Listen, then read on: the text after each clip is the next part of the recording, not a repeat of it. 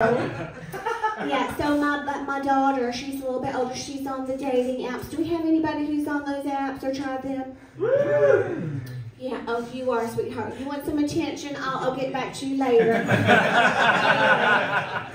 she's not having good luck with those apps, and I said, "Well, honey, what are you looking for?" And she says, "I just want someone with an actual job who can make me laugh." She's so silly. I said,